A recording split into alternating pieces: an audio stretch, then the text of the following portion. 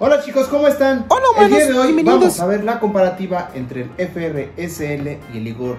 Hay muchas preguntas en estos dos patines. Me han escrito cuál es la diferencia y cuál comprar. Así que te lo voy a explicar en este video. Comenzamos. La primera parte es cuál comprar. La primerísima diferencia es este vale mil dólares, este vale 900 dólares. ¿Por qué? Bueno, este es el patín más top que hay en el mundo de FR y de todos los de fibra de carbono. Y este es el que le sigue. Este, la diferencia técnicamente es que este tiene una capa más de fibra de carbono, por lo tanto es más caro. Otra cosa son los acabados de la piel que tienen. Físicamente, este tiene el, el SL unos acabados en la piel como si fuera todo de fibra de carbono. La piel se ve diferente, a diferencia del Igor que la piel es totalmente lisa. Eso es en primera instancia el por qué cuesta uno más que otro. Y otra cosa es que internamente el FRSL tiene más colchones que el Igor. Te puedes preguntar, ¿Por qué su valor es tan alto? bueno, son patines especiales y son particularmente para freestyle slalom, como estos, para freestyle slides, como los que tienes en tu pantalla, para downhill, para speed o para jump. O simplemente los puedes utilizar para andar en la calle, como lo hace un servidor. ¿Esto a qué se debe? Se debe a que la fibra de carbono protege la integridad de tu pie, en este caso de tu tobillo, lo que brinda un gran soporte, una gran dureza y sobre todo una eh, destreza y el material que es tan tan ligero y es más fuerte que el acero permite que tu pie esté totalmente sujeto al patín y no se te vaya a romper porque este tipo de disciplina o este tipo de ejercicios o trucos que se hacen requieren un gran soporte y lo único que te lo va a dar es la fibra de carbono. Algo importante es la compatibilidad, así que vamos a hablar de la compatibilidad.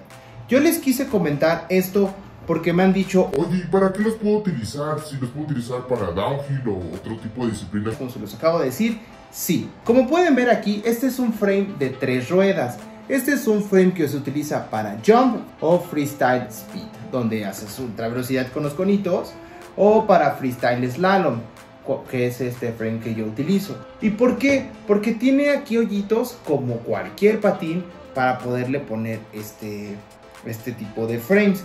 La diferencia aquí radica, pongan mucha atención. En el SL únicamente hay 5 hoyos en la parte superior y en la parte inferior. Y en el Igor hay 7 en la parte superior y en la parte inferior. Pero básicamente no afecta nada porque yo los utilizo en el centro. La mayoría de nosotros lo utilizamos en el centro. Pero pues te da más versatilidad poder ponerlos en el Igor a poder ponerlos en el SL. Otra cosa súper, súper importante es el confort. ¿Cuál me compraría yo para cada disciplina? Bueno, el SL como tal viene más ancho a diferencia del Igor. Ahorita probablemente no se puede notar porque es interno, pero el SL viene más amplio y es más acolchonado. Cuando yo me compré el Igor se me dormía el pie y es el mismo size, son size 40 ambos patines. Entonces se me dormía, se me el pie en lo que daba de sí el patín. A diferencia del SL que nunca se me durmió el pie y ya tengo 5 meses con estos patines.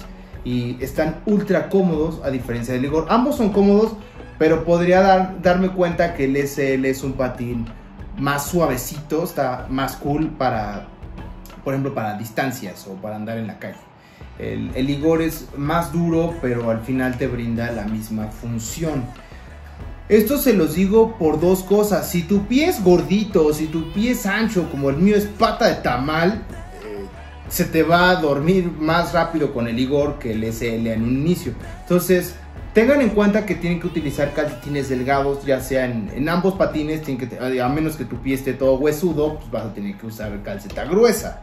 Pero al final son patines que te van a brindar el mismo servicio. Pero ojo con esto. El Igor, el Igor como tal tiene sliders aquí. A diferencia de este que yo lo destrocé porque estuve haciendo slides en asfalto. Esto fue en el patín. iz- Ah, sorry. Esto fue en el patín izquierdo. Porque este no tiene sliders. Le tuve que poner un slider provisional porque me quemé la piel. Y este no, este tiene un slider removible. Un slider es una parte de plástico que se le pone aquí, se le atornilla y se le puede reemplazar. Y el SL no lo tiene. Entonces es súper sad porque pues este literal me barrí y se quemó la piel. Este se ha quemado el slider, le pongo más cinta en lo que compro más sliders. Pero este es más para andar en la calle. Yo lo uso más para slides y para andar en la calle a diferencia del SL. Porque este es más delicado, este lo utilizo ya más para freestyle slalom o si voy a hacer slides en lona. Porque la lona no te va a rayar como el asfalto que quemó este patín. Ya les enseñaré otras fotos cuando esté ya acabado esto que me le vuele la piel. Otra cosa súper importante son los seguros que yo batallé. Se me quebró el de los Igor.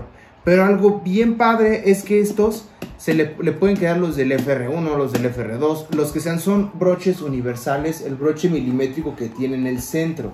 El que tiene el, SL no es universal, pero sí hay refacciones. Sin embargo, eh, véanlo y está más endeble a diferencia del Igor. Este es más rudo, es más grueso y este está delgadito.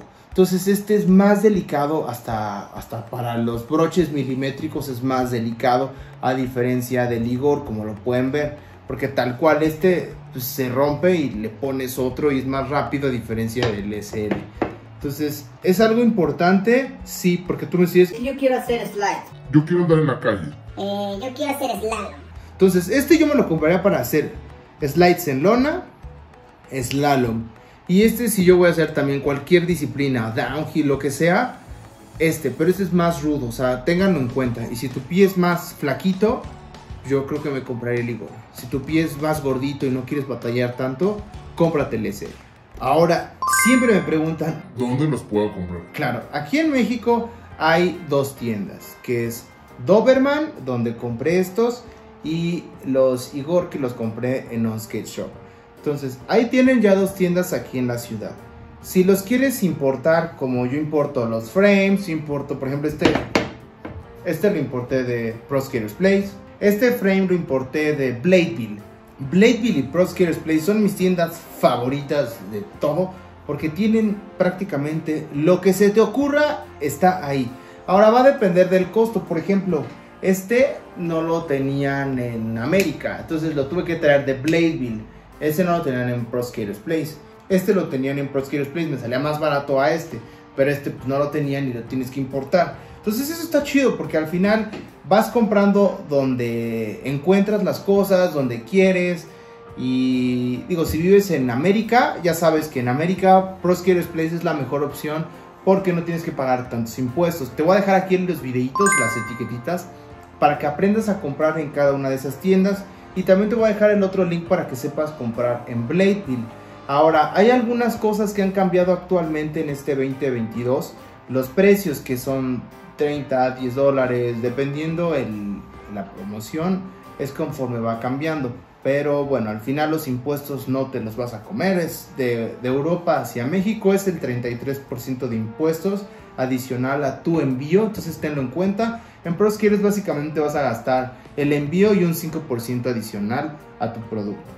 Las piezas que tienen como el COF son intercambiables. Entonces si tú tienes unos patines, por ejemplo los SL7, le puedes comprar un COF de fibra de carbono. Estos también se venden aparte.